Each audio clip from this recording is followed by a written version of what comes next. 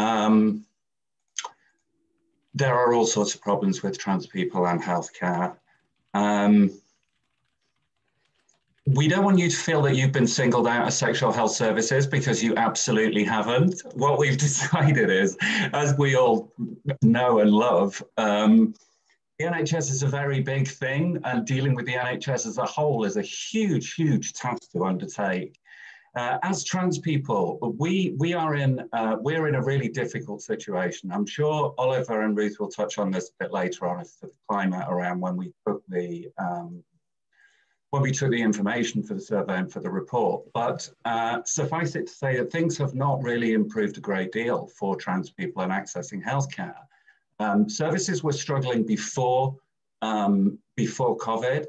And I don't have to tell anybody here that COVID has absolutely decimated specialized services and gender services and other services for trans people have been uh, massively hit by this. We're now looking at a community that in some cases, three and a half years for a first appointment, which is a huge amount of time and very little support or uh, anything in that time. Having been in that position, um, we get up to all sorts of risky behaviors, seeking validation when we're not getting the support that we need and the things that we're looking for. And we're in a situation now where I'm sure that this is happening. Um, why I think sexual health services are so important. I don't know how much people have been following or do follow trans issues, but it, it, shames me to say that Scotland is actually behind the rest of the UK now in the way it delivers services for trans people. Again, this is something I'm sure Oliver is going to speak about uh, later on, and of course something that can be up in the Q&A.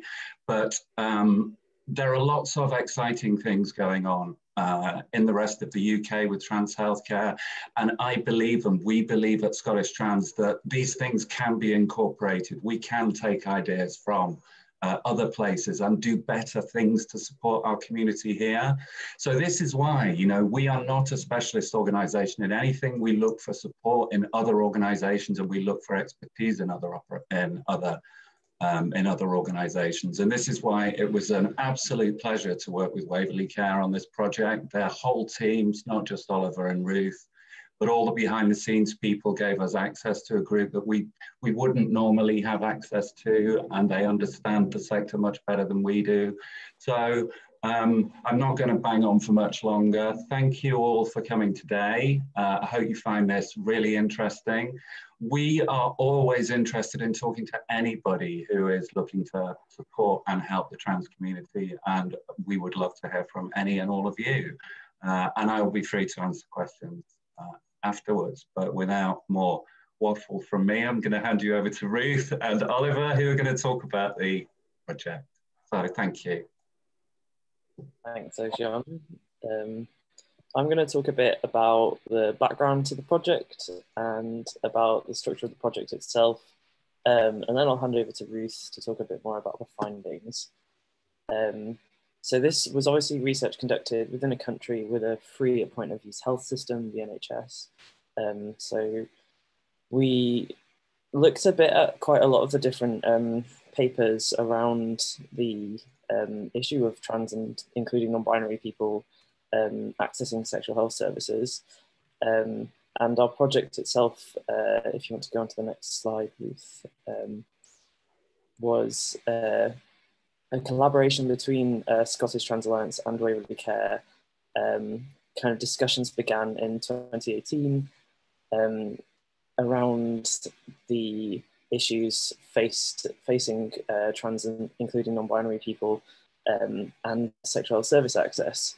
We recognised there was a lack of uh, literature around this and evidence um, in sexual health needs, especially in Scotland. Um, there's been some data in from Public Health England um, that shows uh, 152 trans people accessed HIV care in 2018, of 152, 128 were trans, trans women, less than 30 were trans men, and less than five um, identified in another way.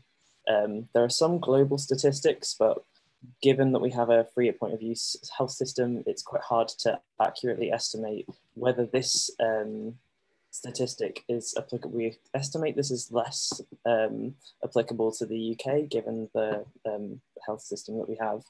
Um, it may well be lower in the UK than internationally, but we don't know for sure as we don't have census data. Um, we don't collect census data on the trans population in the UK.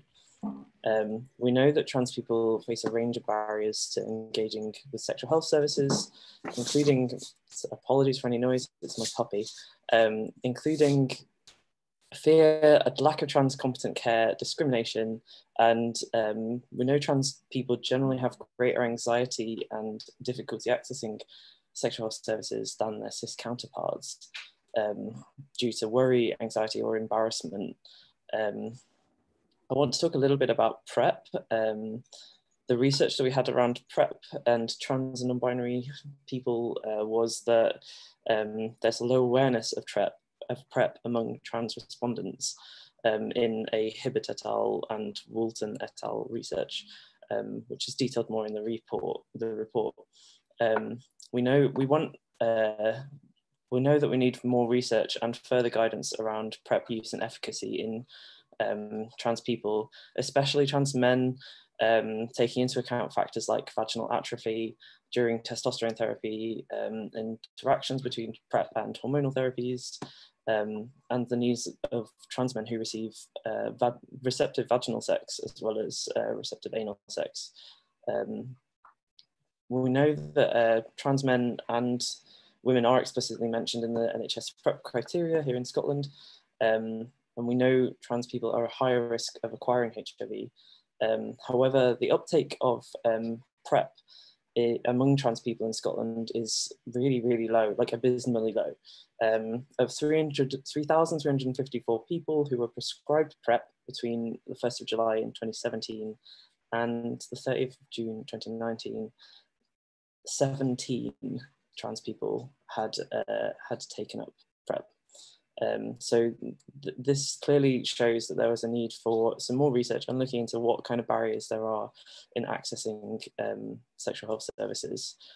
One of the other things that we can clearly recognize is the um, that trans people are more likely to experience forms of vulnerability and marginalization, such as high alcohol and drug use, um, intimate partner violence, and uh, poor men poorer mental health. And this is some research in various forms, but Scottish Trans Alliance, one of them.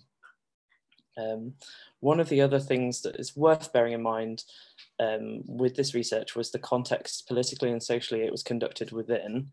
Um, so here I'm talking about transphobia and the Gender Recognition Act. A lot of the time in, in the research, participants were citing transphobia as an issue, especially when accessing services and influencing their engagement. And it has to be mentioned that uh, people's people's perception of public services when the government are not necessarily supporting trans legal rights um, can definitely have an impact on whether they want to engage with public services or not. Um, so yeah, bear in mind the often hostile context that this was uh, taking place in. Um, if you want to go to the next slide, Ruth. Um, so our research question was, what are the barriers and facilitators to trans people accessing sexual health services in Scotland? And when we say trans people, we include non-binary people here. Um, it was a peer-led project with trans and cis researchers, uh, peer-led meaning that it was run by people who had personal experience of the topic under investigation, including um, directly, direct, let me start again people who have personal experience of the topic under investigation and are directly and equally involved in the design and delivery of the research. So trans people and cis people. Um, the first stage of this research was uh, a survey which was incentivized by a prize draw of three £50 vouchers. Um, it was promoted in, at Pride events last year, back when they were a thing, and um, between April and August last year. We received 289 valid responses after data cleaning. Um, it was a convenient sample, but it was also the largest largest survey with trans people in Scotland, um, which was quite an achievement. Um, the second stage was focus groups um, and interviews in September 2019. Um, 28 people participated in these. Some an additional participant took part in an interview, and some participants wished for a further interview to discuss topics they didn't feel comfortable or wanted to elaborate on further outside of the group context. Um, we uh, paid for travel expenses and provided food and refreshments and paid participants for their time to reduce the likelihood of any financial barriers that might mean some people can't take part. Um, so access was also a key um, thought around um, these focus groups and that we provided um, clearly signed or gender neutral toilets, um, a quiet room and varied methods of engagement such as like open discussion, scribing, uh, post-it notes to share how participants felt about accessing services and visual mapping exercise to explore what participants' ideal sexual health service might look like. Um, the third stage was NHS staff um, interviews. and we interviewed eight members from NHS Greater Glasgow and Clyde, um, some past staff from NHS Lothian and some from NHS Highland to, in, to ensure a diversity of perspectives. Um, uh, the interviews explored practitioners' knowledge and confidence delivering services to trans people. We also considered um, the ethics uh, around the power dynamics when you're um, when you're engaging with marginalized groups um, and part of this was the peer-led approach, as well as um, making sure people were financially invested for their time when taking part. Um, now I am going to hand over to Ruth to talk a bit more about the findings. Thanks, Oliver. Um, yeah, hi everyone. My name is Ruth McKenna. I'm the Senior Research Communications Manager at Waverley Care. Um, I think someone mentioned this at the start, but Waverley Cares a, a sexual health and bloodborne virus organisation working in Scotland. Um, and I was one of the, the, researchers who worked alongside Oliver and Oceana on this project. Um, so just to explain a bit more about the findings, I'll kind of go through the, the survey findings briefly and then um, our qualitative findings and then finally talk a bit about our recommendations. I should say that the, the presentation is a kind of whistle stop tour of the finding. There's a lot more um, in, in our final report. Um, so in terms of the, the survey findings, just to give a bit of general demographic information, around 60% of our respondents were based in the central belt of Scotland, just for people that I know we've got an international audience. So um, that's the kind of most populous centre of the country, incorporates Glasgow and Edinburgh and various um, surrounding areas. Uh, and that sort of level of engagement from the Central Belt broadly corresponds to the numbers of the Scottish population who are based in the Central Belt. So it was relatively um, geographically representative in terms of the population of Scotland. It was very much a young sample, so 75% of people who we spoke to were aged between 18 and 34. Um, and you can see the gender breakdown on the slide. So we had a reasonably balanced breakdown in the survey, I should say that in the qualitative findings, trans women were, were definitely underrepresented. So that's a kind of a limitation of, of the research that we should highlight early on. In terms of people's general experiences of accessing sexual health services in Scotland, um, so approximately 40% of the people who responded to the survey had visited a sexual health clinic in the last two years. So that's specifically engaging with an, an NHS sexual health clinic rather than, for example, visiting their GP um, to talk about a sexual health issue. In general, 60% of the people who responded reported positive experiences of engaging with services. But what we found is when we broke those findings down by gender, that there were kind of different experiences for different populations. Um, and in particular, our non-binary participants talked um, more about experiences of being misgendered um, or being offered tests or treatment that were inappropriate for their anatomy.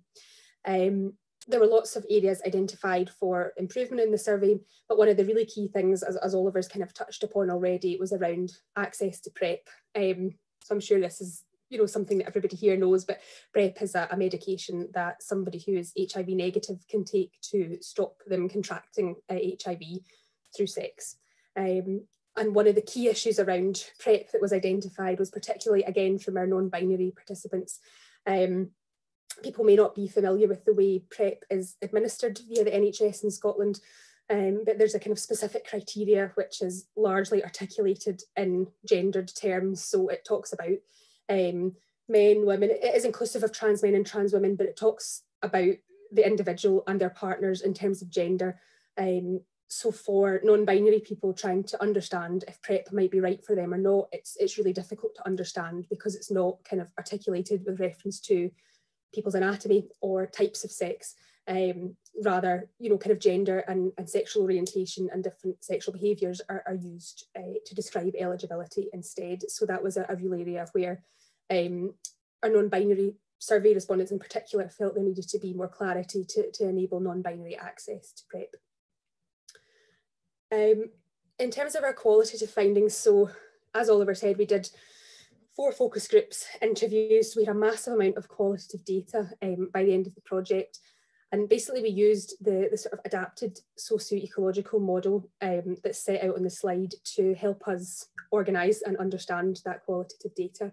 Um, and we kind of used an overarching barriers facilitators um, approach to sort of categorise the data and to do that at each of these levels of the model. So firstly looking at the individual, so things like a person's sort of motivations, feelings, knowledge, um, then looking at the social levels, so people's friendship groups, peer support, um, community generated knowledge, the role of the community in, in potentially sexual health service delivery. We looked at the organisational level, so that was primarily the NHS um, as, as being the kind of sexual health service that the vast majority of our participants had engaged with. But the way services are delivered in Scotland, some community-based services are of contracted out to third sector or charitable organisations like um, Waverley Care. Um, so there's some, some elements of the organisational findings that are relevant to sort of charitable or community organisations who deliver specific types of sexual health services, usual, usually things like testing um, or awareness raising. Um, and finally, we looked at the policy level. So again, Oliver's kind of touched on that, but that was particularly around, um, at the time we were doing the research, both the UK and Scottish governments were consulting on reform of the Gender Recognition Act in Scotland, um, and that created a particular public media, um, political, fairly hostile environment around um, any trans-related issues. Um, and so that's something that, that we kind of touch on in the research at that policy level. Um, so just to go through the findings um, before I sort of move on to the recommendations. So at the individual level, one of the key barriers that, that we came across was was fear, um, and that's something Oliver mentioned already. That and Oceana actually in, in their introduction that you know many trans people have very negative experiences of engaging with health services, whether that be sexual health services or or other services, um, and so that level of fear of accessing services could um, operate to to prevent people from engaging with with sexual health services at all. Um, what we found for some people was that they had maybe been to sexual health services once, but then had such a difficult experience that they didn't want to engage again. Whereas for others, um, they had never been at all, even though you know they reported um, potentially being at risk, potentially needing tested, but the level of fear that they felt about engaging was so significant um, that they felt the harm that would be caused to their mental health was was um, more significant than the harm that would potentially result from from not um, you know accessing a test when that was needed. Um, the individual's ability or access to knowledge to enable them to assess sexual health related risks was a factor. So I touched on that in relation to kind of non-binary people's experiences of accessing PrEP. Um, because people had very little uh, access to relevant and tailored information about transsexual health, what we found is that many of our participants didn't actually have the information available to assess their risk factors because sexual health information was often delivered with reference to gender. Um, people weren't sure if the particular types of sex they were having, the body parts they were using meant that they were at higher risk of HIV or other STIs or not. Um, so that kind of overlaps obviously with, with different layers of, of the model, particularly the organisational layer and, and sort of making sure that people have access to the right information. But at that individual level, it, it certainly played a role in whether people had the, the ability and the knowledge to assess um, when they should be engaging and engaging with services and potentially getting a test. Um, at the social community level, we found that support from family and friends could be a massive facilitator to engaging with services. So um, if people were encouraged by their family and friends to engage um, and potentially got peer support to actually go to appointments, that could play a really significant role. Um, people always also talked about the important role of the community in sort of generating sexual health information. So for many people, um, like YouTube channels, Facebook groups were the only source of information they had about tailored sort of tailored information about transsexual health. Um, and so many people wanted to see the community continue to play a role in sort of sexual health service delivery and sexual health information provision, but to have some legitimacy conveyed on that. So whether that was um, trans people working within NHS sexual health services uh, or within community-based sexual health services, so that people could both get the benefit of accessing information from the community, but also know that the information they were accessing was kind of valid um, and, and correct, I suppose. At the organisational level, there was absolutely loads in there, so I, I can't kind of cover it all. Um, but the main things were around accessibility and inclusion. So making sure that um, sexual health clinics were physically accessible, um, things like trying to ensure that the clinics and practitioners were trauma informed where possible. Um, pretty basic stuff that would make services actually, you know, kind of more inclusive for all. It's not just relevant to, to the trans population. Um, in terms of data sharing, that's something that's probably quite specific to the Scottish context, I think, given the way in which gender identity services and sexual health services are structured. So for the most part in Scotland, um, gender identity clinics are part of sexual health services, um, at least in three of the main health boards that deliver uh, gender identity clinics. And what that means is that both gender identity clinics and wider sexual health services use the same eh, patient electronic monitoring system, which no other service in the NHS has access to. So it's quite a niche, it's quite a specific barrier, um, I think, to the context that we operate in. But because people knew that their sexual health practitioner and perhaps the clinician they were seeing at the gender identity clinic both had access to the same information, um, that could operate as a barrier where people you know just didn't necessarily want that information to be shared across these sort of different strands of services. Um, another kind of barrier or facility, you know depending on on the balance a barrier or facilitator could be levels of practitioner training and knowledge so if practitioners had um, the fact that many practitioners didn't have training in firstly sort of issues relating to trans and um, non-binary gender identities, but also a sort of specific point around practitioner knowledge of um, trans and non-binary sexual health needs specifically. So Oliver mentioned a bit about that at the start around sort of knowledge around PrEP prescribing for trans men. Um, there was stuff around um, condom provision for trans men as well, um, gamete storage. So some, some specific kind of sexual reproductive health related issues that if practitioners were well informed about, could, could really facilitate people to engage. And likewise, if they weren't, that could be a barrier. Um, what people did highlight is that they certainly didn't expect practitioners to be experts in everything. Um, and so if a practitioner didn't know something, then a real uh, kind of facilitator to engage could be if that person was willing to go away and sort of do the research themselves, read up, um, and, and inform themselves rather than expecting the patient to sort of go away and, and do that research instead. Um, information provision, I kind of touched on that, but that's just kind of people wanted to ensure or wanted services to ensure that when information was delivered, and so far as is possible, that was done so with reference to bodily anatomy and different types of sexual behaviour rather than um, talking about gender identities and kind of using that as code for different types of sex. Um, at the policy level, obviously we've mentioned that, that kind of transphobia and the wider political debate around reforming the um, Gender Recognition Act played a significant role. Um, some participants also talked about kind of programme of austerity that's that's uh, been underway in, in the UK for the last decade and the impact that that had had on things like waiting times and capacity within sexual health services.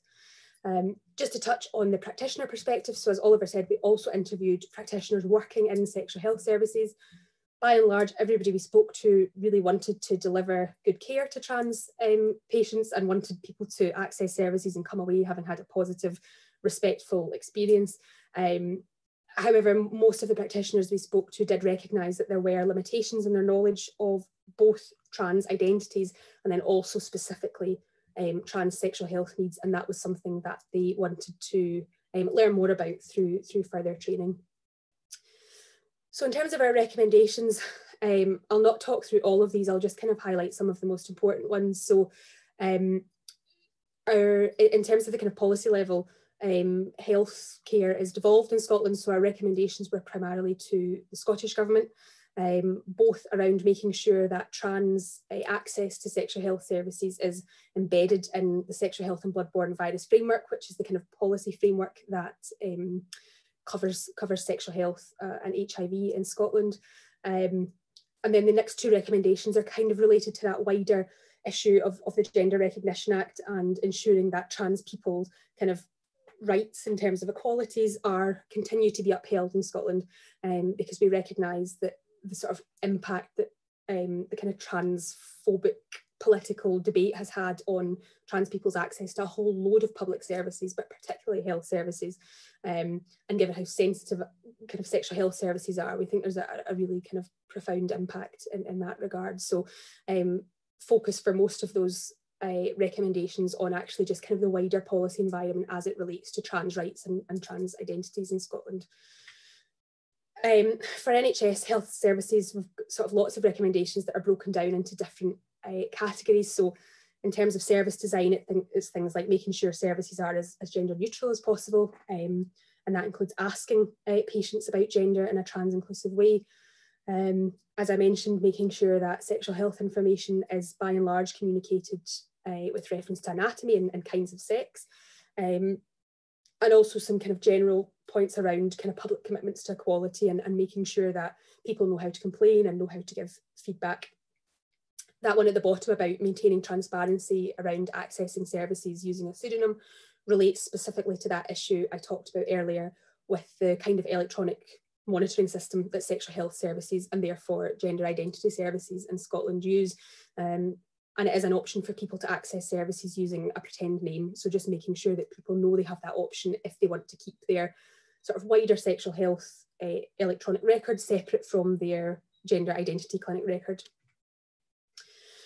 Training and staffing needs, this was something that came from both the practitioners we interviewed and also the uh, trans participants that we spoke to. So making sure staff have access to wider quality and diversity training as well as specific training um, around the clinical needs of trans patients.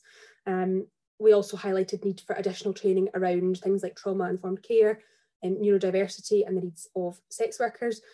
Um, and that specifically relates to the point Oliver made at the start, where you know we know from evidence that trans people are more likely to be affected by a whole, a whole host of other um, issues, uh, and, and, therefore you know we need to make sure that that uh, sexual health care is trauma informed. And actually, that you know, as with quite a lot of our recommendations, that would be to the benefit of the general population, not not just the trans population. Um, and finally, exploring employment options for trans staff to deliver either clinical or non-clinical roles in services. Um, there's some specific sort of clinical recommendations here about what um, practitioners should do just as part of, of routine practice. Um, and these very much align with existing recommendations around delivering integrated sexual health services. So sexual health services where their services are delivered to trans people within the general sexual health service provision rather than having a, a tailored service for um, just trans patients. Um, so making sure that practitioners are asking about people's names and pronouns as part of routine inquiry, not making assumptions about a person's gender or sexual activity, um, being transparent about how electronic monitoring is used, um, familiarising themselves with relevant clinical guidance around um, sort of PrEP prescribing, PEP prescribing, vaccinations, contraception, etc. for, for trans people. Um, and this is a, the kind of recommendation around GMC guidance on intimate examinations is just to make sure that people are allowed a friend or partner or family member into an intimate examination with them if that's something they want, because there is sort of express guidance around how that situation should be handled. Um, so next set of recommendations is kind of for third sector health, uh, sexual health and bloodborne virus organisations. So I mentioned at the start that in Scotland, some sexual health services are delivered by organisations like Waverley Care and, and other organisations um, like Terence Higgins Trust. Um, so for organisations delivering sexual health out with the kind of NHS framework, um, the recommendations are around sort of working in partnership with trans advocacy organisations to deliver bloodborne virus and sexual health outreach and testing, um, delivering sexual health information, um, seeking funding for and producing bespoke sexual health information resources for trans people on kind of high priority topics like PrEP and HIV prevention, um, and just generally ensuring that all, all of our work and all of the information resources that we're putting out are trans inclusive. So as we recommended for NHS services, that they're communicated with reference to body parts and types of sex rather than gender and sexual orientation. Um, final uh, recommendations are for trans advocacy organisations like, like Scottish Trans Alliance. Um, so again, it's about just continuing to work in partnership with sexual health and bloodborne virus organisations, um, seeking funding for and delivering training around sort of trans inclusive service delivery, um, and, and continuing to work in partnership with the NHS and with charitable sexual health and bloodborne virus uh, organisations to provide sexual health advocacy and, and peer support to trans people. Um, so that's us. Thank, thanks very much for listening to that, um, and we're very happy to take questions.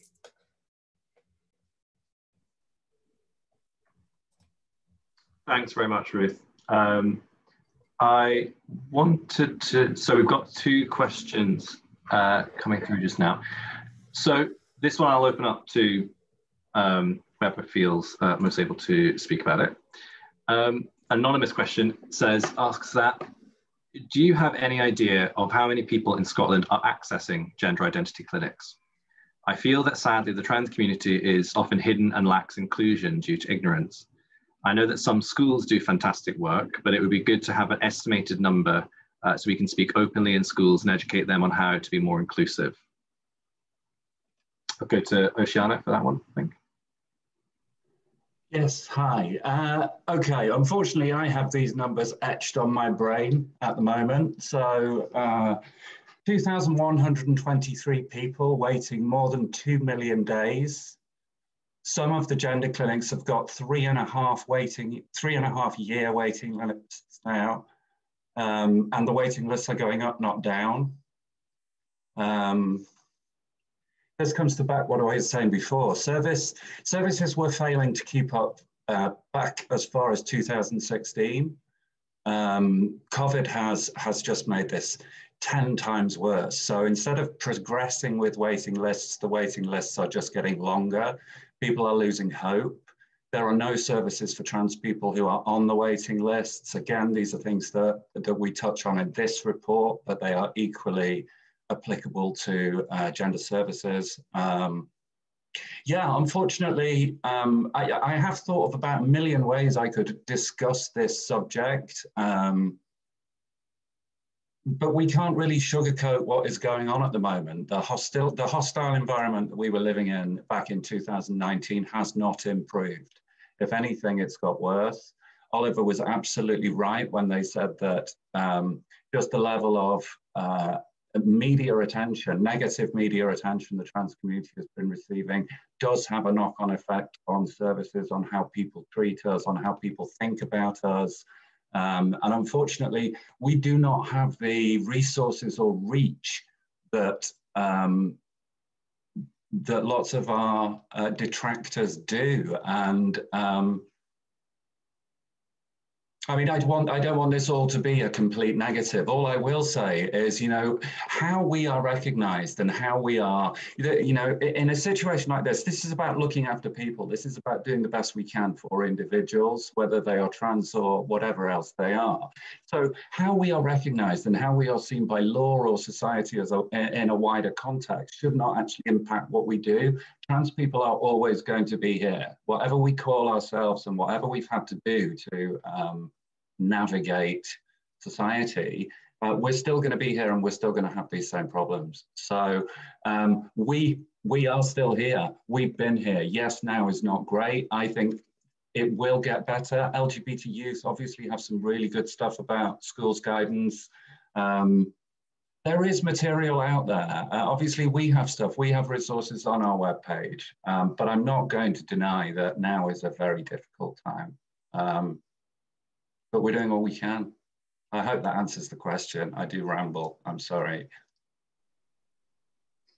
Thanks, Luciana. I'm, I'm sure it did. Um, so we've got another question here from uh, Jimmy from THT Scotland, uh, who says, thank you for a very good session.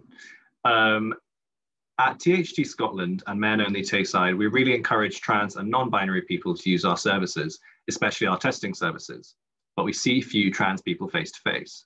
How can we encourage more trans and non-binary people to use our services? And I wonder if Oliver would like to answer that one. Yeah, I'm just trying to scroll to the report part where we've got third sector recommendations. Because in the in the report it has uh, we have third sector organisation recommendations specifically to say what you can do um, to encourage like engaging with encourage engagement from trans and non-binary people.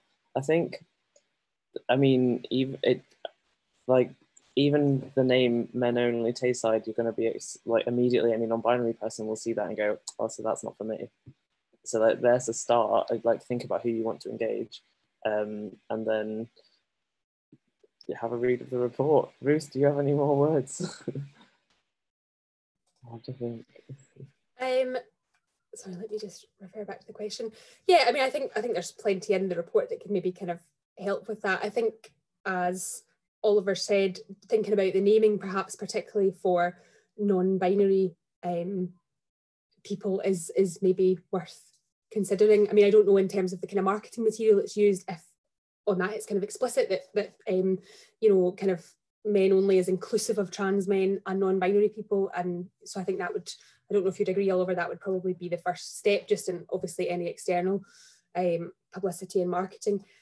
Again, I'm not sure exactly kind of what Men Only Tayside does, but I wonder if there are things where there might be the option to partner with Scottish Trans or a similar group and kind of do a specific information session that's maybe for trans men. And, um, you know, one of the things that really came up in the report for trans men in particular was around PrEP dosing, um, which is different for, for is generally different for trans men um, than cis men, things around condom use. So there can maybe be something around having sessions if you're having a sexual health session for example making sure that those issues were covered or you know if your potential audience was big enough maybe doing something specifically around that um, i'm trying to think we didn't have a massive amount of participants from tayside and I, I can't remember if there's anything sort of specific to that health board. Um, sorry oliver were you going to come in?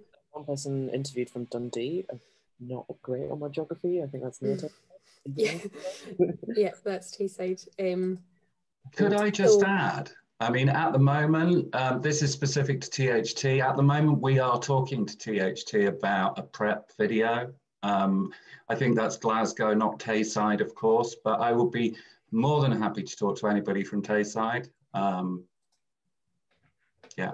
Um, but explicit marketing it is all the stuff that was in the report. It's it's just making you know one of the big hurdles anytime we go and do anything is just are we welcome? So often that's the defining factor in whether we decide to go somewhere or not. Am i going to end up feeling worse than i did before i went because i've been made to feel horrible when i went? So that's the decision trans people make every time they choose to access something.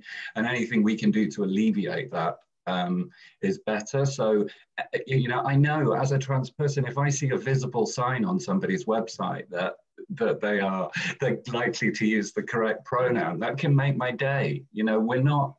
Um, I think this is one of the big things as well. One of the problems with specializing services like the gender clinics, for example, is it sends a signal that for some reason trans and non-binary people are really complicated and they need specialized services to look after them. Most of the time they don't.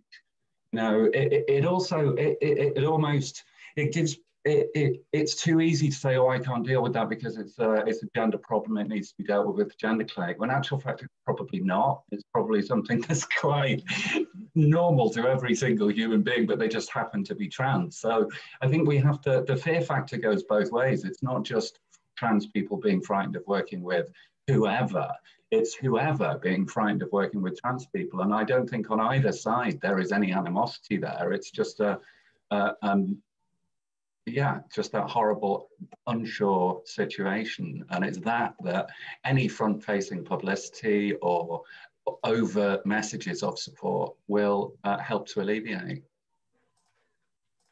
I think maybe just add, just haven't had a.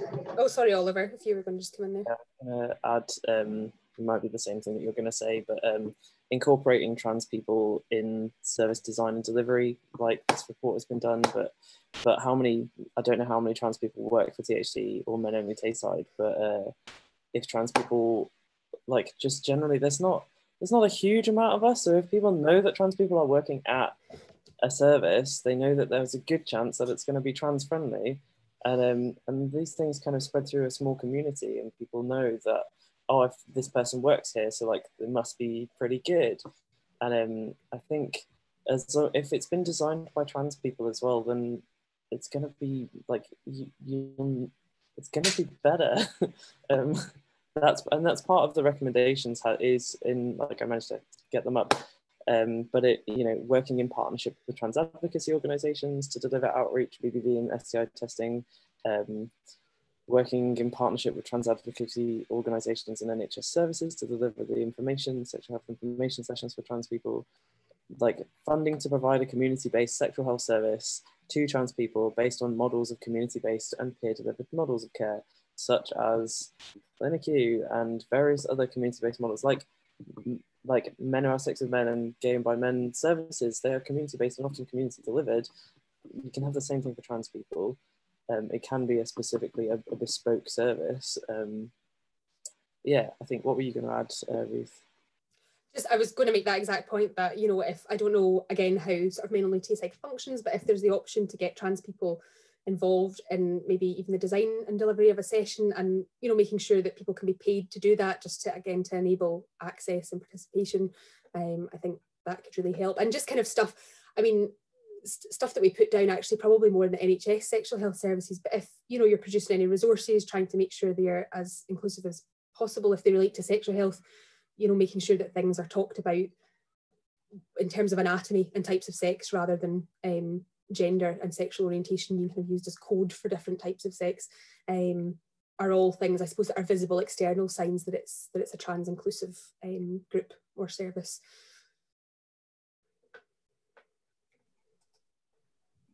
Brilliant. Um, thanks for those answers. We've got a couple more questions. Um, I'll try and go in order of who asked first, and I'm sure we'll have enough time for them.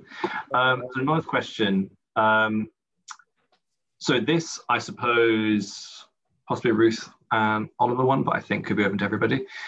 What would you do differently, if anything, if you were doing this research again?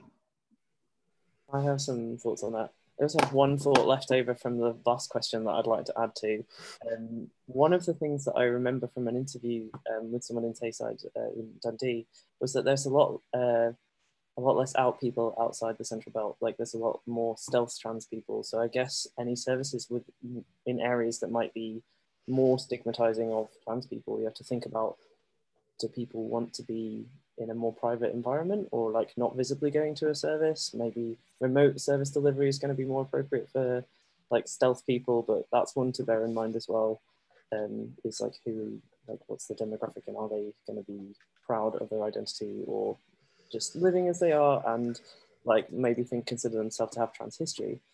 Um, in terms of what I'd do differently, um, I still I feel slightly sad that we didn't manage to get more engagement from people outside the central belt. We had a few people, um, but it would have been nice to have more, like more of a rural kind of perspective, and potentially people who are living more stealth. Um, I think a good proportion, or I don't know if we really recorded whether people were out and proud, visibly trans, like you know folk or if they were, I consider myself to have a trans history. Um, even the way that we designed the survey would have meant that, you know, you had to identify yourself as trans rather than like saying I have trans history, I'm now just a person. Um, and yeah, so I think there's a there's a broader amount of people we could have reached out to, and I wonder how those folk who hadn't engaged would have engaged with sexual health services. I think it would have been get like maybe it's our funding limitations and the way the organisations we're working with, but more of a sex worker focus, more of a BAME focus. Um, would have been nice to see what the challenges facing those groups. Um, and you know, we had engagement. We didn't specifically um, like aim at uh, sex workers, but we did have sex workers engage with us in the focus groups, which was really good. Um, so we got some good perspectives there, but uh, I would have liked to see more um, in those areas. How about you, Ruth? Um, yeah, I think I would kind of agree with everything you've said, Oliver. I think I would have, with more time, probably tried to make sure that we had more engagement with people in remote and rural areas and also with trans women and trans feminine people in the focus groups. I think the survey was was better distributed in terms of gender, but certainly the focus groups, I feel like trans women's perspectives were underrepresented there. So I think that's probably a limitation of the project.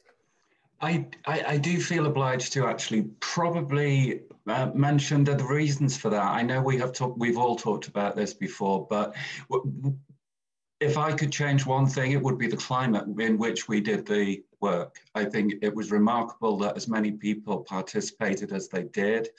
Uh, I think everybody should be very proud of that. Um, but yes, you're absolutely right. There are lots of, uh, of communities that we didn't get to. Um, and part of that is because unfortunately, as a community, we don't have uh, we don't have those that strength of network. There are rural Scotland. Again, we touched on this, and we could talk about this for hours. But um, finding support, finding other trans people, finding groups, finding anything in rural Scotland is very, very difficult. Um, and without those groups, uh, trying to reach those people becomes impossible. Um, so in a, in a wider term and from a Scottish trans perspective, we try and support those networks. We try and grow those networks so people can talk to each other, people can um, and do know where to go.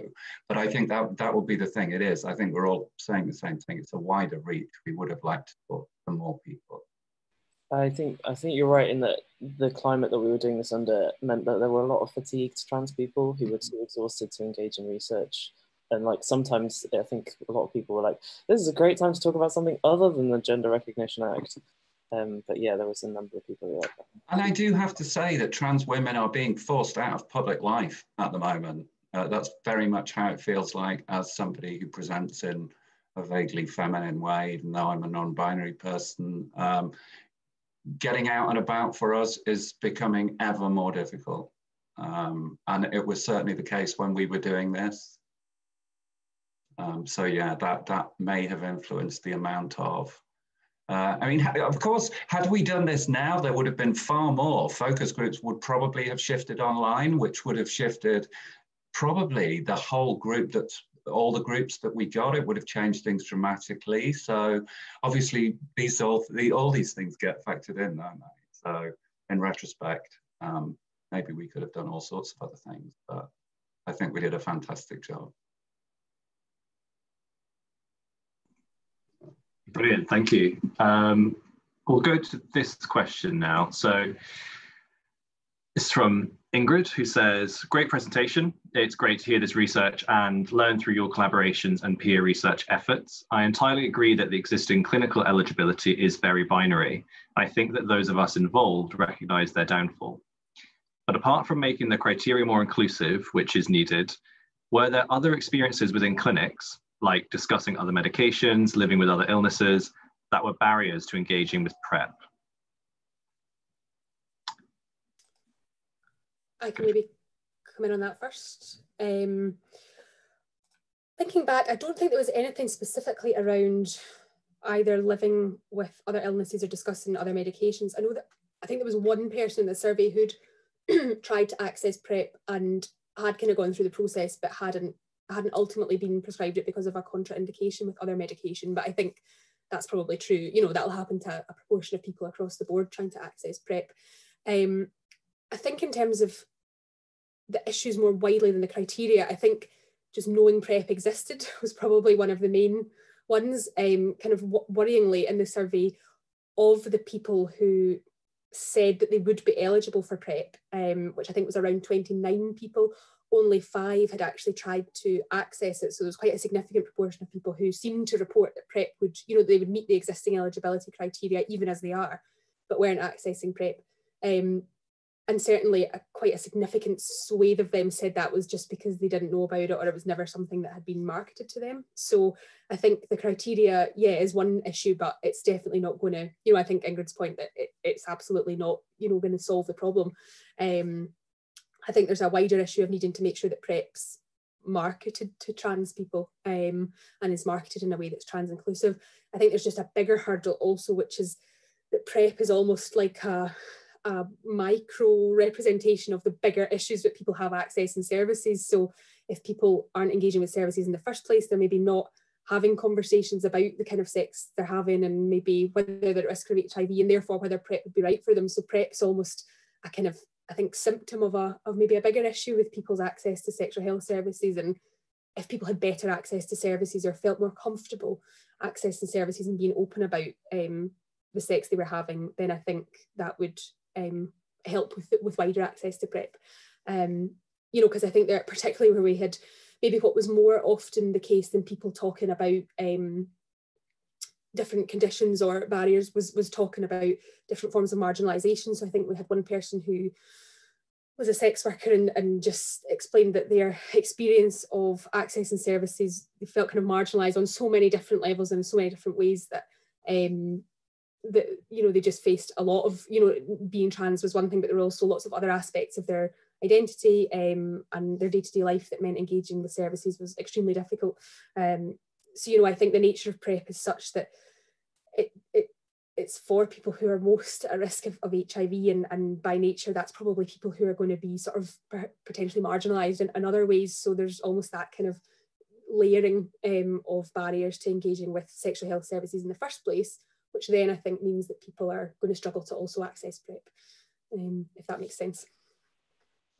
Yeah, that would I'd add to that in that the, that like layering and the barriers just makes people so exhausted they don't want to bother taking care of themselves in that way or like finding out like oh should I, could I get it and and even you know on top of the inclusion criteria um, that does just mean that they're like oh I don't even want to ask whether it's something I could access um, I'd say that generally the biggest barrier would be awareness. Um, like in cis het friends, people don't seem to know PrEP is a thing.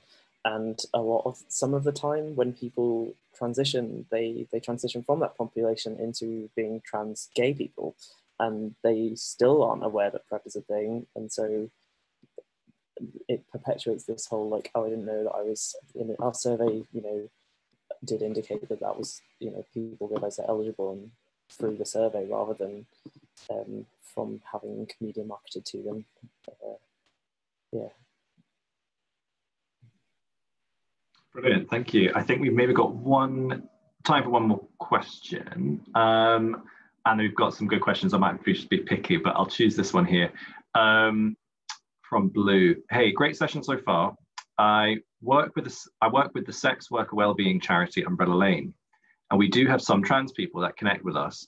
But I'm curious how welcoming other trans spaces are to sex workers. Do you notice any increased stigma? Go to whoever feels like that. I'm happy to answer. Um, I'd say uh, in terms of like organizations that support um, trans people and their sexual health, um, sometimes the there isn't like I'm talking about SX here, but there's difficulty with explicit like naming like we support sex workers because of the um, funding issues around like and like where the government funding comes from that you can't name stuff like that, which is really a difficult position. Um, but they are sex worker inclusive and support sex workers. Um, in trans spaces that are community spaces, um, I haven't noticed any stigma, increased stigma, but I also am not a sex worker, so can't speak to that experience. Um, in terms of like the spaces I inhabit, uh, which is a lot of DIY culture and um, like smaller anarchist movements, uh, yes, it's very sex worker inclusive, but that's kind of in the nature of those spaces.